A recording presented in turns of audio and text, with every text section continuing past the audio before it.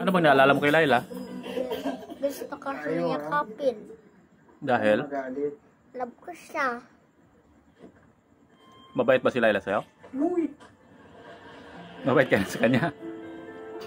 And gusto ko siya bigyan ng pagkain. Kaso namatay na siya. Natatakot ka ba sa kanya? Hindi. Spando eh. Nagtatakot pag ano, pag nandito siya kang mawala. Hindi na mawala yun si Laila. Love ka pa rin niya yun. Kahit wala na si Laila, naalala ka niya.